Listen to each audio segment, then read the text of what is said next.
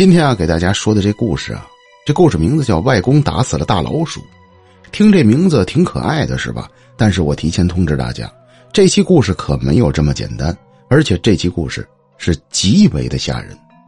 那咱不多白话了啊，直接进入到主题，我开始给您讲这期故事。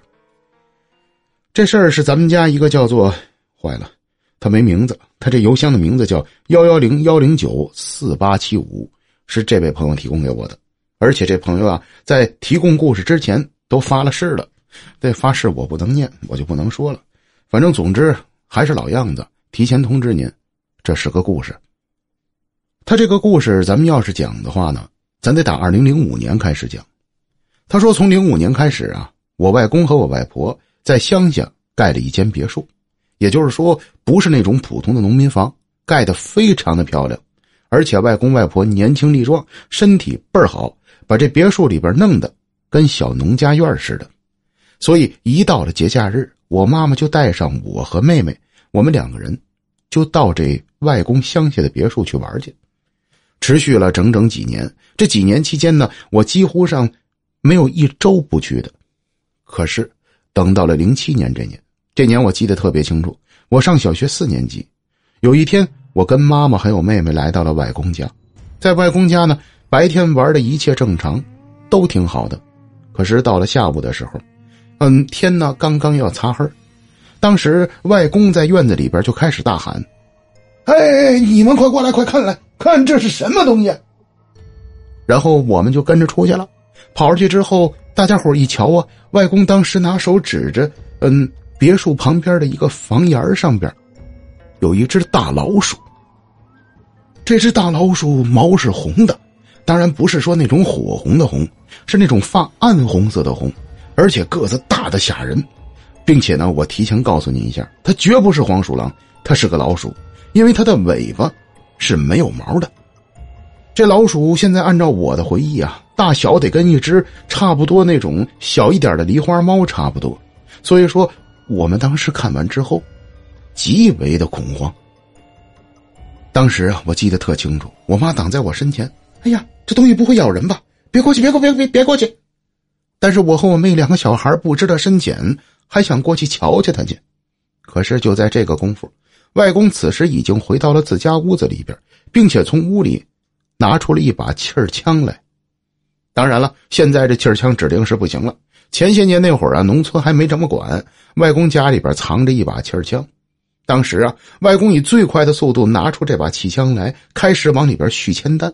续完铅弹没两下，就把这气枪给压满气儿了。接下来，在远处，外公瞄准了这只大老鼠，噗，就是一枪。只听见这老鼠滋滋滋两声尖叫，躺在地上翻了几个滚儿，就死了。老鼠死后，我们一家人就围了过去。这老鼠还没完全死透了，嘴角淌着血，两个眼睛不啷不啷的这么眨着，然后呢，死死的瞪着我外公，尤其是他那个尾巴。卷起来伸直了，卷起来伸直了，并且四个爪子噼里啪啦、噼里啪啦的在来回乱蹬，这么足足闹了可能得有几分钟，这老鼠才完全的闭上眼睛，咽气儿了。咽完气儿之后啊，外公外婆、我和我妈还有我妹妹，拿棍子扒了半天这老鼠，连外公都说呀：“哎呦，我的妈呀！我我这长这么大我都没见过这么大的老鼠啊！”连外婆在边上都觉得新鲜，这到底是个什么东西啊？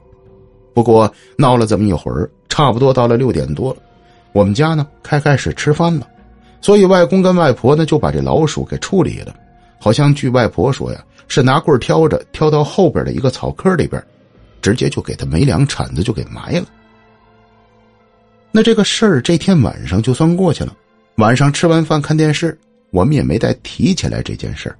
但是由于这是第一天来外公家，转天我们不会走，所以。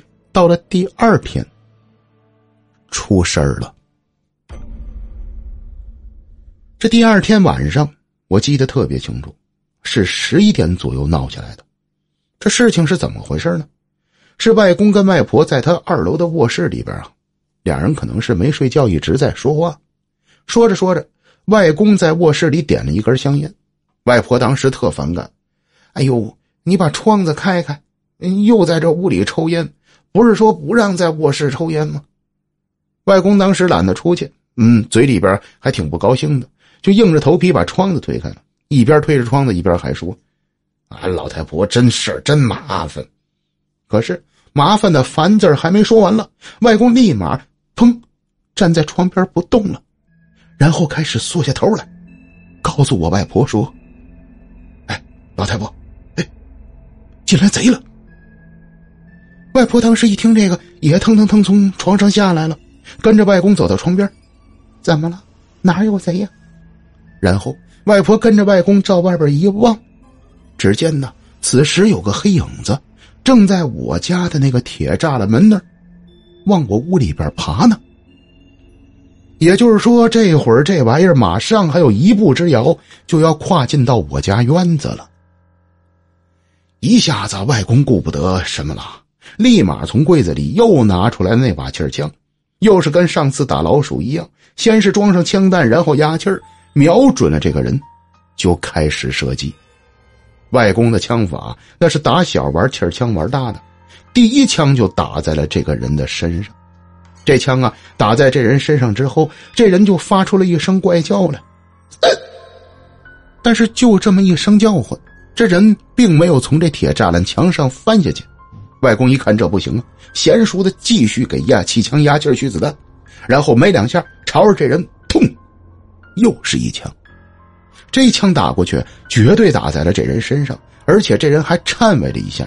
可是这第二枪，这人连个动静都没有，并且此时这黑影子已经跳到院子里来了。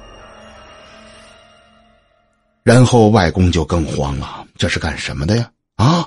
要抢我们家东西吗？这人怎么什么都不怕呢？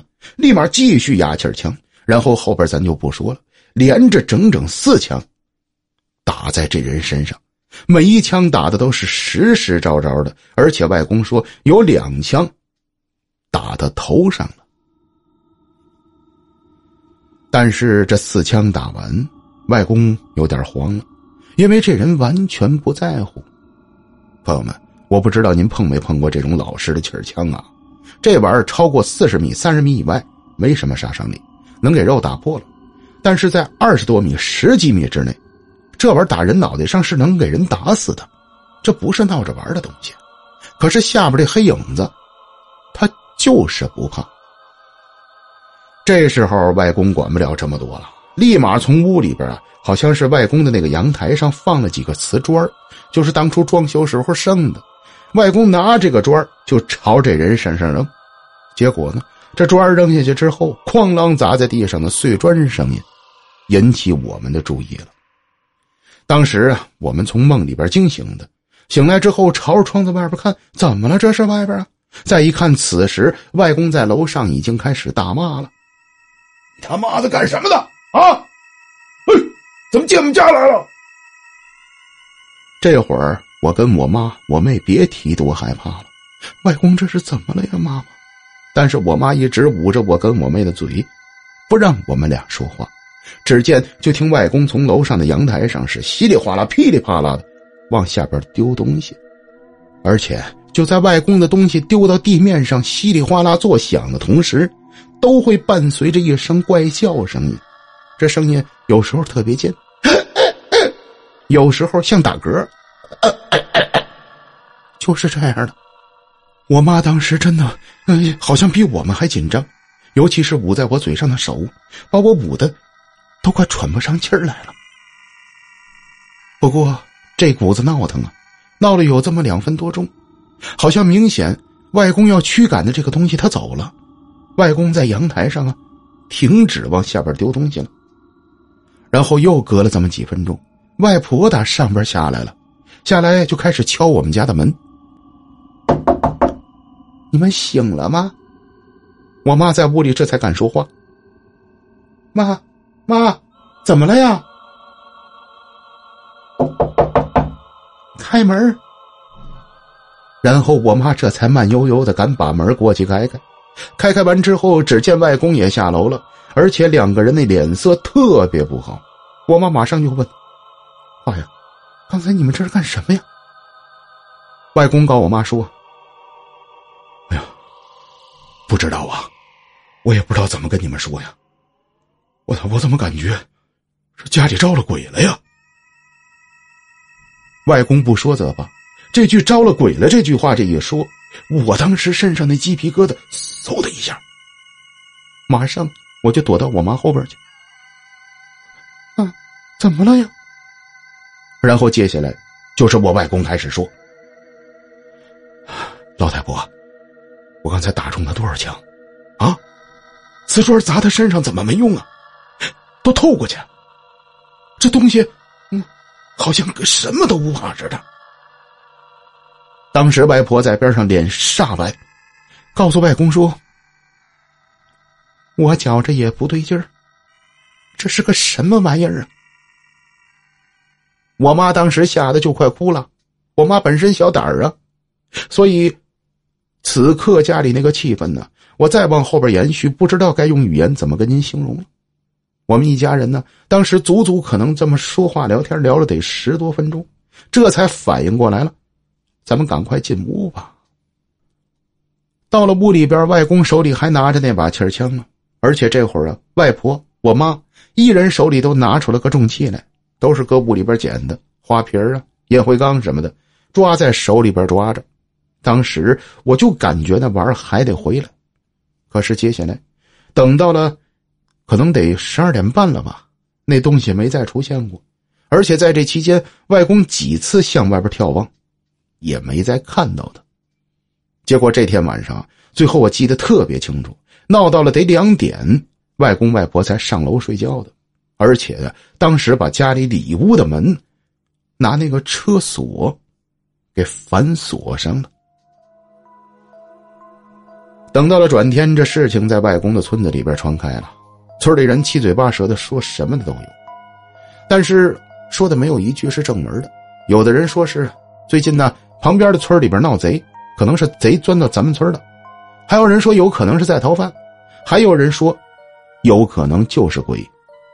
不过，直到了当天下午，有一个人的提议，这个人说的话一下触动我外公了，使得我外公听完这人说的事之后。别扭了好长时间，因为这人呢，当时告诉我外公说：“老贺，哎，你说你昨天打这东西，不会是那大老鼠他们家人找你报仇来了吧？”就这句话，一下子让我外公给反应过来了。回家，我外公别扭坏了，一直跟我外婆、我妈就念叨这件事儿。你说我手欠，我打那大老鼠干什么呀？哎呀，我就觉着那老鼠不对劲儿，这不麻烦了吗？外公说完这话之后，外婆我妈都哑口无言，不知道该怎么跟他聊这个事儿。但是时间过了些日子，事情就过去了，因为接下来没再发生什么事儿。虽然每天晚上特别的惊心，也没再见着那黑影。但是，正当我们以为这件事没事了的时候，也就是过去了有一个半月，忽然间的一天下午，我妈接到了我外婆的电话，告诉我妈说：“芬儿啊，快回家，你爸现在送县里边的医院了，刚才晕倒了。”我妈一听这个，当场就慌了，奔着医院就去了。结果到了医院呢。经过了七天的排查，最终竟然查出来了我外公患有鼻咽癌。这事情如晴天霹雳般的劈向我家呀，整个我家里边就乱了套了。而且朋友们，鼻咽癌是非常严重的，这病要早期发现的时候啊，还好点还能治；要是到了中晚期，没得治了，并且病发的时候。那病人是极为痛苦的，所以正赶巧啊！我外公发现鼻咽癌的时候，大夫最终给出的结论是：已经扩散了，我们不太好下手救治了。完了，这下坏了！外公见天的就在家开始倒计时了。结果，您猜，等我外公到了人生。终点的最后的时候，发生什么事儿了。外公被病魔的困扰，整整困扰了三个多月。在这期间，细节咱不说了。可是等到外公临近生命终结的最后一个月的时候，外公的太阳穴上长了个洞。这个洞是由于鼻咽癌引起的，而且这个太阳穴上的洞，我不给大家形容了，特别的吓人，我都能感觉得到外公当时不定承受了多少的痛苦。可是。这时候，我们家里人呢，心里边就开始打颤了，因为外公当初打死那只大老鼠，就是打中的大老鼠的太阳穴位置，而且外公头上长出来的那个洞，特别像气枪打的洞。今天晚上啊，这期节目比较特殊。你看我起这名字了吗？村里的五疯子。我给大家先解释一下什么是五疯子啊。这个五疯子呀，说白了吧，就是他犯起病来之后，他会攻击人、会打人的，一般称之于五疯子。这种疯子必须得把他关到精神病院，不然的话，他会伤及咱们老百姓。但是也得看是在什么地儿。比方说在城市里边，你有条件给他关到精神病院里边，但是万一……要是发生在农村，那可就麻烦了，因为村里边本身条件就一般，再加上他们家不管，那这人可就一下子成了村里的祸害了。那今儿晚上凯哥给大家讲的这故事，说的就是这么个五疯子，而且啊还没这么简单，这五疯子身上还出了邪事了。那咱讲故事之前还是老样子，先感谢一下这位来自河南的叫武华的听友，呃，谢谢您。嗯，提供一个这么精彩的故事给我们。这叫武华的哥们说啊，他说我们村子里啊有个女的，这女的跟我差不多大，八四年生人，我是八三年生的，我们俩几乎一边大。小时候呢，这女孩还挺漂亮的，我呢还挺愿意跟她玩的。但是等到我们一块上小学，上到六年级这年，这女孩给疯了，疯到什么地步呢？在我们学校第一次闹的时候，他竟然拿把剪子在学校里边追人。他不管是老师还是同学，见人就拿着剪子扎。但是那会儿他年龄小，才上几年级，很容易控制。结果当天闹起来之后，就让学校的老师和校长、主任们把他给制止住了。但是到后边，这孩子他妈他爸带着他去了好多地儿看病，怎么看他这病就看不好。医院里边给出的最终结论。就是这孩子得了分分精神分裂症了，神经病。可是，随着这孩子逐渐的一天一天的长大，他这个杀伤力就越来越强。直到了后边，等到他十五六岁的时候，有这么一天，在我们村子里边，竟然拿一把菜刀砍了个男的。这男的呀，是打别的村来的，上我们村子串亲戚来的。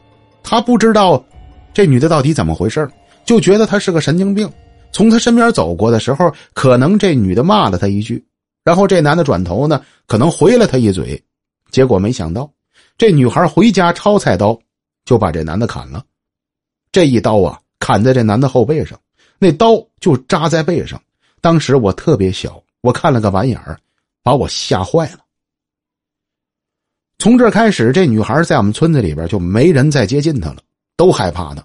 再加上他们家呀还有个男孩。我们那儿又重男轻女，他爸他妈就不怎么管他，这女孩就天天流落在我们村子里边，但是基本没有一个人敢接近她的，都是绕着她走。我小时候那会儿啊，我是初三毕业才考到城里去的，跟着爸妈进城了。在之前，我是在我们村子附近上的小学和初中。上初中的时候，我们学校都有人拿我找乐，就是说我们村里有个疯子，而且这疯子以前跟我是同学。我那时候特别烦他，真的，他给我们村丢了不少人。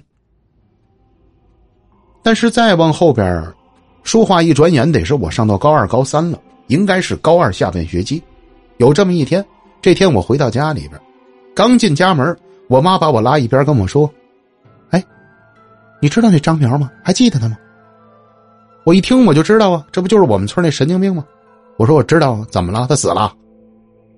我妈告我：“嗨，你别瞎说呀！那怎么也是你同学，也是你邻居？我告诉你啊，那张苗好了。啊？怎么好了？就是好了，人家人家能说话了。刚才我跟你奶奶打电话，你奶奶说的，就前两天好的。什么？他能好了？他那会儿都多大了？都十五六了，当街脱裤子，拿刀砍人，他竟然能好了？真的好了？你回来哪天回村子你看看去啊？人家还问你了。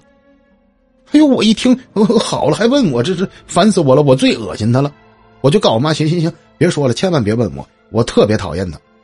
然后一打岔，把这事儿就这么岔过去了。等到了晚上，我们一家人坐那吃饭，我跟我妹、我爸、我妈四口人，吃着吃着，我爸就开始给我们讲起故事来了。当时是我爸先提出来的。哎，听你妈说了吗？你知道那张苗病好了吗？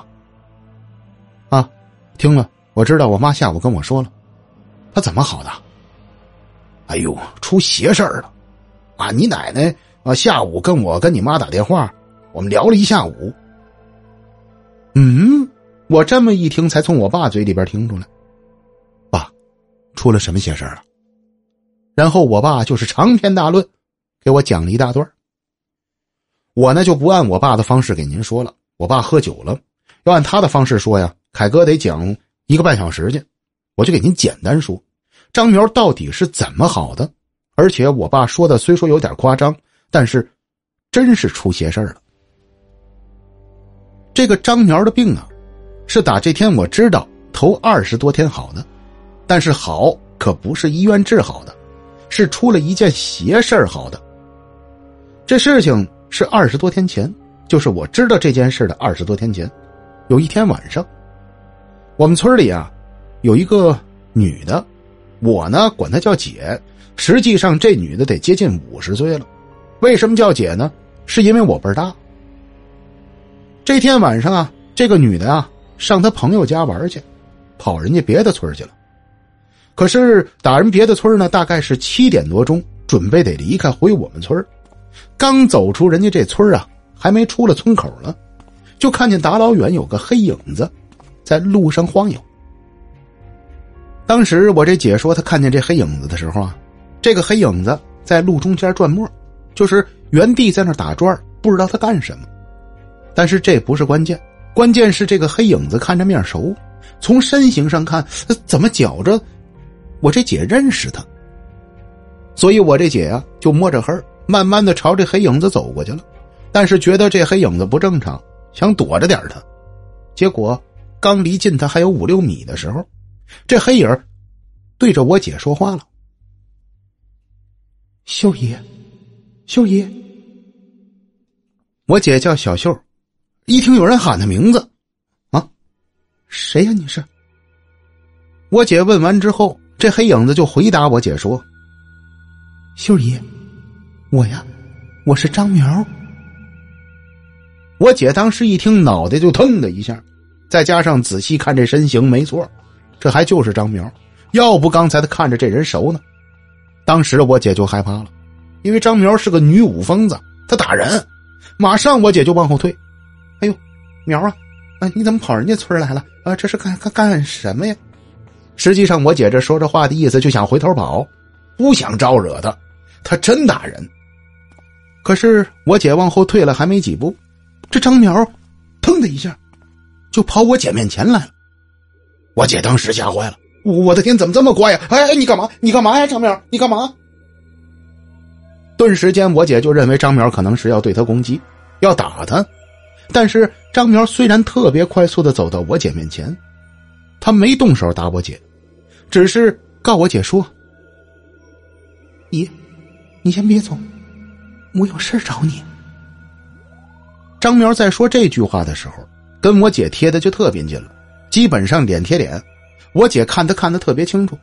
这时候我姐发现有个不对劲的地儿，这今儿这张苗，虽然大半夜有点吓人，但这个打扮捯饬的，怎么这么干净啊？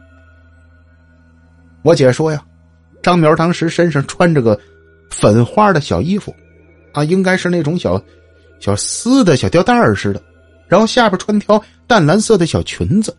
脚底下穿双凉鞋，脸上还抹着小粉儿，粉扑扑的，头发上梳着一个独辫儿，嗯，脸别提多干净多清爽了。打我姐呀，记得张苗疯了之后，就从来没看见过他这样打扮过。基本上您看见张苗，那脸上就跟刚从煤堆里刨出来似的。所以今天我姐觉得张苗太奇怪了，就稳住了情绪，问了他：“呀，苗苗啊，这个今天打扮的够漂亮的，你怎么跑人村来了？”然后张苗听完，回答我姐说：“姨，咱先别聊这个。”我有事找你。哎，你说，苗怎么了？你说。我姐这时候跟他说这话，还往后退，怕他突然袭击呀。可是张苗接下来说：“姨呀，你能带我回村吗？”我姐一听，坏了，这是又犯了病了，要不今儿不正常的跑人家村了，可是此时跑不了了，你还得接着他话说呀。啊。那个苗啊，你你你不认识村了是吧？不是，姨呀，我才是真的张苗。什么？你是真的张苗？姨，我跟你说，你别害怕啊。我才是真的张苗，现在村里的那个张苗，那不是我。我姐当时一听有点懵。啊是 你，你你，我这有点弄不懂了。苗，你什么意思啊？这说的。然后张苗没说话，伸出一只手来，告诉我姐：“姨，你要不信，你摸我手一下。”我姐当时下意识的伸手，就慢慢摸了张苗手。可是拿手一碰到张苗手上，我姐吓坏了。当时我姐这手打张苗手上偷过去了。也就是说，这张苗现在是个影子，根本不是实体的一个人。我姐当时慌了，顿时间又往后退好几步。哟，苗啊，你这是怎么了？这是这……然后张苗告我姐说：“姨，我不是诚心吓唬你，你别害怕。你能不能在前边走着？”一边走着一边喊着我名字，我在后边跟着，你把我带回村就行了。带回村啊，我就能回到我自个儿身上了，我就不用天天这么丢人现世了。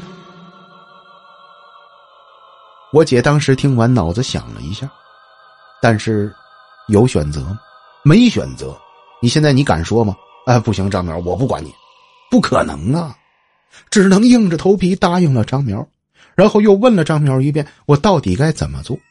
接下来，这张苗还教了我姐，说：“你往前面走，没走几步，你喊喊我名字。如果要是回头一看我不在了，然后你反过来再来接我，继续喊我，我就能跟你回去。”然后我姐呀，还就真的照着这样做了，而且这天晚上走的特别慢，走到了九点半，才这么喊着张苗，回到我们村口了。到了我们村口之后。我姐最后一声喊张苗的时候，发现感觉张苗不在后边，就回头瞧了他一眼，结果一转头，张苗嗖的一下，就出现在我姐面前了。还没来得及等我姐害怕说话了，这张苗呢，就给我姐跪下了，然后告我姐说：“姨呀，我一会儿一回到我身子上，我就不记着了，我不记着你救过我但是姨我得报答你。你别忘了你转天提醒我一下去我兴许能想起来。然后我姐听完这个呀苗不不不不不不不用了你快回去就行了。实际上这会儿我姐吓得俩嘴都已经打颤了。然后说完了这句话只见眼前这张苗逐渐的开始消失然后嗖的一下消失完全的不见了。然后当天晚上，我姐跑回家了。回到家里，吓得我姐全身哆嗦，把这事儿就告诉她老公了。老公听完说：“她胡说八道，你放屁。”但是等到转过天来，张苗还真就给好了。当时张苗好了呀，连他们家人都不相信，当然了，张苗当时好了时没换衣服，还是脏兮兮的那个样子。回到家里喊他爸喊他妈，他妈都愣了。啊，你喊我们能说话了？然后张苗直接给他爸妈跪下了，开始给他妈道歉，说这些年闺女不孝，做错事了，对不起了。然后这时候他爸妈这才意识到，这孩子忽然间正常了。但是。这件事儿啊，我姐在私下里边跟好多村民说过，可是从来没敢直接去找张苗去。虽然最后那天张苗告诉我姐了，去找他提醒一下，但是我姐一想啊，还是算了吧。提醒他完了也不知道会发生什么事但是从这儿开始，我这姐姐啊，一旦路过张苗身边，和这好了的张苗碰见照面了，这张苗就会对着我姐呵呵呵的笑。但是，我姐说，虽然张苗好了，可是他每次对着我笑，我就起鸡皮疙瘩。那天晚上啊，真给我吓坏了。晚上好啊，朋友们，咱们今天又见面了。今天晚上啊，给大家介绍个新朋友，这朋友啊叫磊磊，但是呢，这个磊磊不是男孩子，是女生，可能人家小姐姐。嗯，以前起了个就是这种比较男性的名字。这磊磊啊，比咱们大几岁，是个大姐，但岁数也不是太大啊，三十多岁不到四十的样子。嗯，但是经历特别特别的丰富。由于自己的老公呢，从事的就是跟泰国那边的交往的一些生意什么的，再加上自己呢呃，对很多各国的异地文化呢，非常非常的喜欢，所以说人家有着一个极强的丰富经历。由于他这个经历丰富呀，所以说这小姐姐的故事未来可能会出现好多期。他讲了好多故事给我，嗯，但是呢，今天我先挑了一个劲儿最大的讲给大家。他呢说的这个第一个故事啊，这故事是她老公身边的一个朋友发生的。她说，由于我老公啊一直在泰国那边工作，嗯，跟泰国那边呢基本上都好多年了，所以说呢，在泰国那边经常会接待一些呢来自咱们中国的朋友。再加上呢，嗯，我老公当年接待的一个朋友啊，他又是我们北京人，所以说当时在泰国呢就特别特别的亲，一直打他到了北京，老公就天天陪着他。但是我老公这哥们儿啊，他这人不信邪，来到泰国之后呢，他有时候可能是由于口无遮拦的啊，再加上北京人说话就那样，可能到了一些特殊的地界他可能说了一些不太好的话，我老公他们呢就说他，哎，那那那那什么。你到这儿别小点声音，咱咱别说这些。嗯，这是个阿赞，这阿赞在泰国当地挺有名的，信他的人非常多。反正咱说话稍微的注意点。您说这要求不过分吧？咱到了人家什么地儿了，对不对？咱得遵从人家的一些习俗，还有人家的一些文化传统。但是他好像不放在心上，他觉得干嘛呀？怎么了？我我我说什么错话了？这这这都不让说。您看这人他就这么大大咧咧。当时啊，咱们磊磊她老公就觉得，哎，这哥们这样不行啊，所以说就一直后边的日子中啊，带他去的好多地儿，尽量避讳着点，别带他进泰国的庙里边，或者是进泰国的一些法师的自己的一些场地里，尽量别带他去。可是等玩到了第六七天，六七天的时候就放松下来了，没这么紧张了。再加上呢，磊磊她老公不能全天陪着她，人家有自己的生意，磊磊她老公呢就忙别的去了。结果就让另外的一个哥们陪着他，这哥们呢有点二，不是说那种特认真的人，就走马观花的带着他四处逛。结果也不知道怎么回事，这天带着他就逛到了这么一个阿赞的棚子里。这阿赞呢，在泰国当地还不是说特别著名的阿赞，也就是一般般。然后他逛进去之后呢，看那屋里摆的那是什么什么什么这个就这些奇怪的东西啊，他就觉得特别好奇，就跟人家瞎聊天。然后没想到。这阿赞会英文，英文还不错，跟他就聊上了。聊着聊着聊着，他就开始跟人家有带有一定挑逗性的言语，意思就是说你们这东西有点装神弄鬼，我不太相信。再加上今儿啊，他遇上这阿赞呢，年龄比较年轻，有点脾气，就跟他说那意思：中国人你要不太相信的话，你可以试试。然后他呢也上了头了，直接告诉那我试试怎么试啊？然后这阿赞就说了：“我能帮你开阴阳眼。”开完之后，你能瞧见东西？他当时就不相信啊！这，哼，哥们儿，你你真逗啊！结果呢，人家这阿赞一看这个，你不不信吗？我也不要你钱，我就给你开开了。但是弄着半截陪着他那哥们儿可能在门口干别的事了。一看他老婆出来，就进来找他了。进来之后一看他，你你你你这干嘛了？然后他把他自己的事儿跟这哥们儿说了。这哥们儿一听，坏了，大哥把你交给我。我带着你上这儿来，你怎么这样呢？不不，这玩意不能闹着玩，这不是逗的，你千万停止。可是这一切为时已晚，这阿赞已经做完了。做完之后，这哥们儿不服啊，因为他做完没反应。他说：“我连个感觉都没有。你不是说脑门上得热热乎乎的吗？没感觉，没有啊。而且出去溜达一圈，什么都看不见，给人家说了一顿。然后这个哥们儿呢，就跟这阿赞。”私下沟通，说我这朋友不懂事你别理他，您别往心里去，这到底是怎么回事啊？结果这阿赞呢，这会儿已经上头了，不高兴了，就告诉这哥们说：“你这朋友现在的确没感觉，但三十天之后，你让他等着吧。”阿赞说完这话，咱这个泰国本地这哥们一听就坏了，马上就劝这阿赞。可是无论你说什么，给多少钱，人家不听了，出去，你们出去。等于这个误会就闹成这样了，完了，出了事了。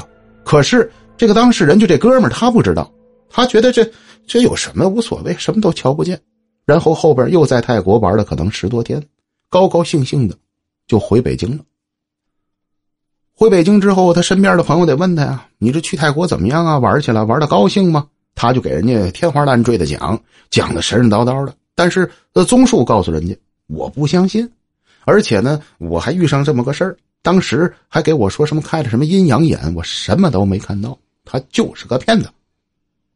可是这是万没想到，也就是回北京过了有小半个月，忽然间的这么一天晚上，这哥们大概是七点多钟，打家里边下楼上门口买吃的去，结果刚下了楼，在楼梯走到四楼的时候，他就感觉不对劲儿，就感觉这人恍恍惚惚的。全身没力，他呀，可能平时有点血糖不稳定的这个情况，他当时就认为自己是不是有点血糖偏低了，所以马上呢就加快了脚步，奔楼下赶快买吃的去。结果匆匆忙忙的，刚走出他们楼栋的大门口，往左边这一转，这楼栋边上站着个老头。这老头就站在一户人家的一楼的窗户下边，在那站着，嗯，呆呆的看着远处。一开始他没注意。但是等走到老头旁边这一看，哎呦，哎，刘叔，哎，怎么在这儿站着呀？哎，对，我好长时间没看见你了。您您是是今天出来溜达了？然后一边说着话，他就一边往前走着，因为呢，他这会儿不太舒服，他得着急买吃的去。可是这刘叔不搭理他，瞪着两个眼睛这么看着他。他当时啊，已经走过刘叔的身位了，还回头说了一句：“刘叔。”我先买东西去啊！一会儿回来咱爷俩再说。您这怎么了？这是。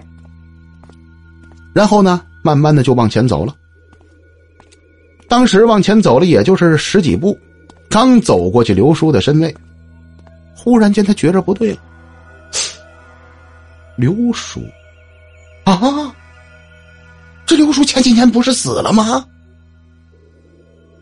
一下子，他身上这鸡皮疙瘩腾就起来了。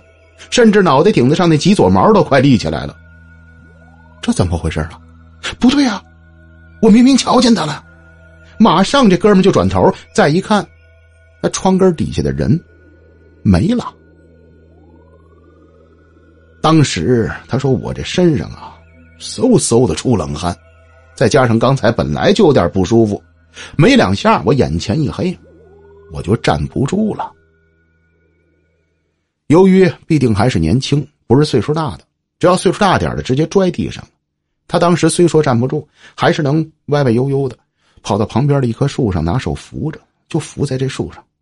当时心呐都快跳出来了，噔噔噔的，满脑子就琢磨刚才这个画面。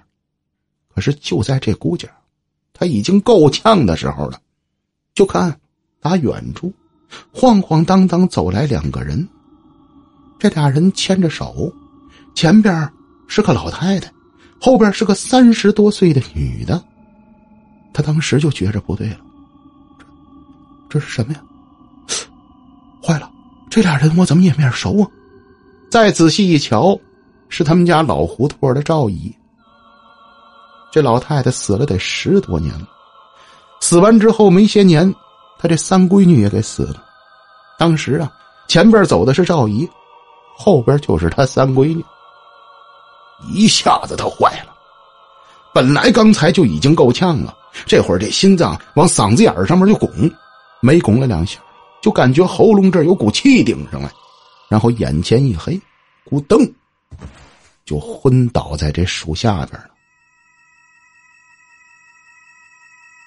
这大哥住的这个地儿啊，是回迁房，都是老邻居一块搬过来的，也就是说门口周围邻居都认识。